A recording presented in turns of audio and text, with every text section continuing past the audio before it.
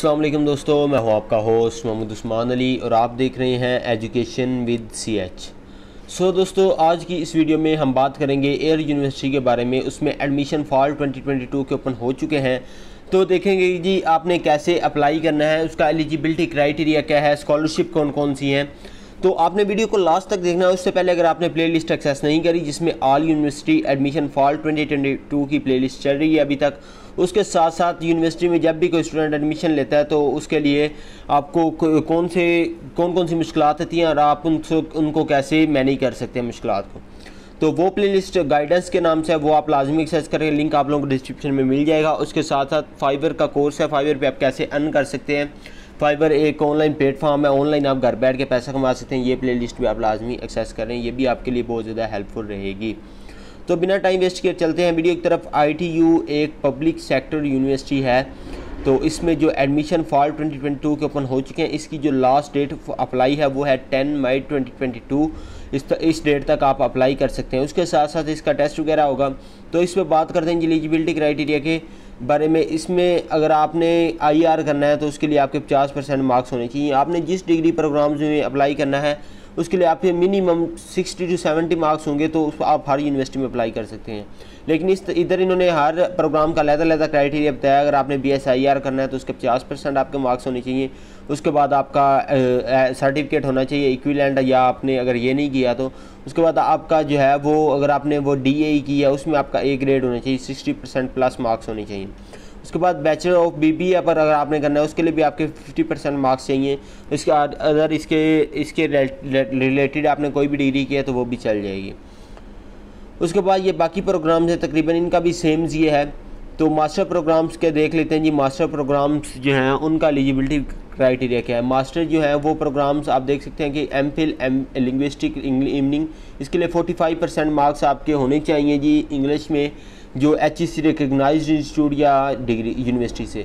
ठीक है, अगर आपने टेस्ट वगैरह जब देंगे तो उसमें आपका 60 परसेंट स्कोर होना चाहिए एटलीस्ट पचास परसेंट स्कोर जी आर में होना चाहिए। Otherwise 151 scores in verbal reasoning में होना चाहिए 3.5 इन एनालिटिक्स राइटिंग में होना चाहिए। तो इनका ये जो है, ये इनका मास्टर प्रोग्राम्स के लिए इस तरह बाकी एम फिल एजुकेशन इवनिंग इन सब का मुख्तलिफ़ है। इन्होंने इसका टू एलिजिबिलिटी क्राइटेरिया बताया बी एड में या B S in in education में। तो हर प्रोग्राम्स का एलिजिबिलिटी क्राइटेरिया डिफरेंट है। आपको लिंक डिस्क्रिप्शन में प्रोवाइड कर दीजिएगा। आप वहाँ से अपनी डिग्री के रिलेटेड प्रोग्राम जो है उसको चेक कर सकेंगे। तो उसके बाद ये देखें, ये इसका बताया कि उन्होंने minimum C G P three C G P होगा, तब आप अप्लाई करेंगे पी एच डी में। ये पी एच डी इंजीनियरिंग आप कर सकते हैं इवनिंग प्रोग्राम है यहाँ पे।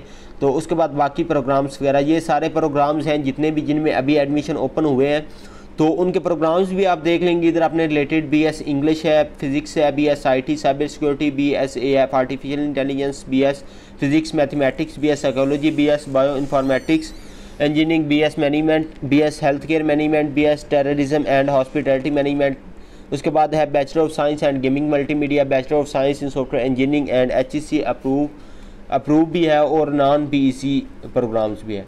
उसके बाद है जी आर्टिफिशियल इंटेलिजेंस बैचलर में मास्टर प्रोग्राम्स की बात करेंगे तो मास्टर में है जी सबसे पहले M B A two year master of business administration two year ये इवनिंग में है M S in applied physics उसके बाद master of science in computer science master of science in aerospace engineering उसके बाद master of science in avionics engineering master of science in information security master of science in electrical engineering master of science in mechanic mechatronics engineering master of science in management sciences उसके बाद है M S business and analytics master of science in mathematics mechanical engineering project management उसके बाद है strategic studies उसके बाद master of science in data science gaming and multimedia उसके बाद मास्टर ऑफ़ साइंस या आर्टिफिशियल इंटेलिजेंस में है सिस्टम सिक्योरिटी में है क्लिनिकल साइकोलॉजी साइबर सिक्योरिटी और बायोमेडिकल इंजीनियरिंग ये जिनके आगे इवनिंग आ रहा है, ये टोटली इवनिंग प्रोग्राम्स में करवाए जाएँगे आपको।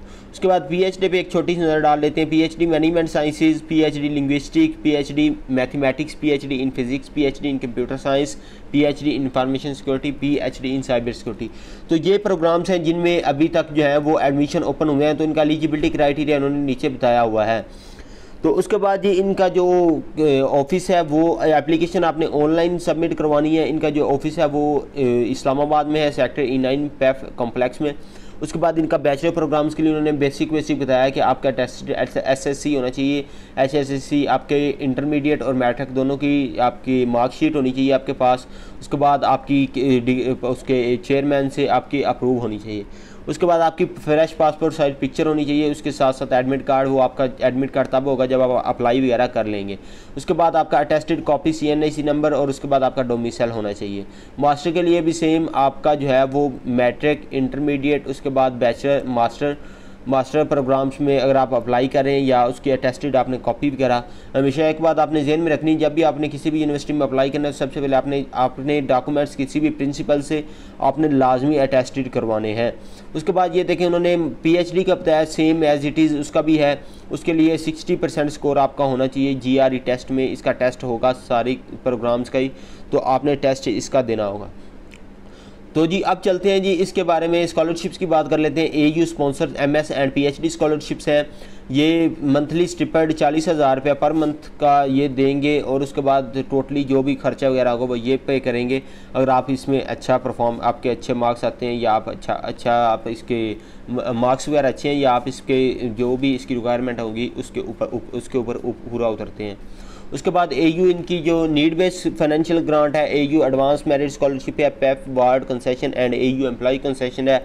एहसास अंडर ग्रेजुएट स्कॉलरशिप है, जो भी एहसास स्कॉलरशिप जब भी गवर्नमेंट की आती है, वो इधर आपको मिलेगी। ये फ़र्स्ट सेमेस्टर में होती है ओनली अंडर ग्रेजुएट के लिए।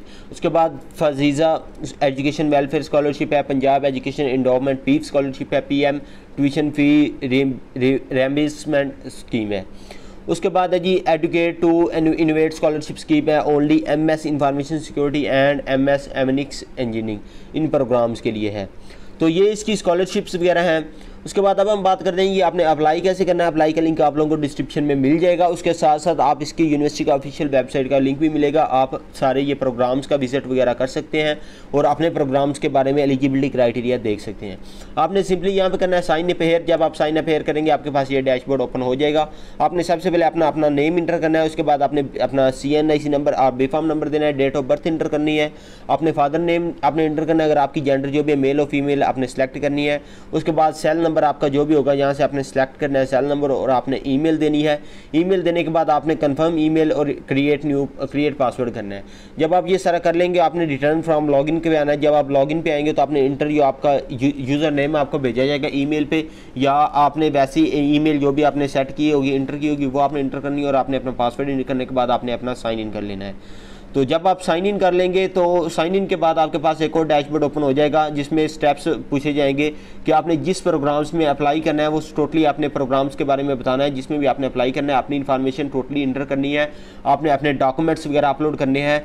तो जब आप ये सारा काम कर लेंगे तो एंड के आपके पास फ़ी चलान जनरेट हो जाएगा। जो फ़ी चलान है, वो आपने हबीब बैंक या हबीब मेट्रो बैंक दोनों बैंक से में किसी भी ब्रांच में आप पे करेंगे। तो जब आप पे कर लेंगे तो उसके बाद आपको कंफर्मेशन मैसेज आ जाएगा या मेल आ जाएगी कि आपका अप्लाई वगैरह हो गया है। अप्लाई के बाद आपका अगर टेस्ट रिक्वायर्ड होगा यूनिवर्सिटी वालों की तरफ़ से, वो क्योंकि पीएचडी और एमएस के लिए तो लाजमी अगर इन्होंने बैचलर के लिए रिक्वायर्ड लाजमी कहा तो आपको टेस्ट वगैरह, आपको डेट वगैरह बताएँगे ये सारी तो आपका उस डेट को टेस्ट टेस्ट होगा। उन्होंने डॉक्यूमेंट इधर सिंपली फॉर्म में बताए हुए हैं कि आपके ऑल अकेडमिक सर्टिफिकेट जितने भी हैं, जो भी प्रोग्राम्स होगा, उसमें आपने सारे अपने अकेडमिक सर्टिफिकेट्स उसके साथ साथ सी नंबर या बे फार्म नंबर और फादर का सी नंबर ये डॉक्यूमेंट्स आपको रिक्वायर्ड होंगे।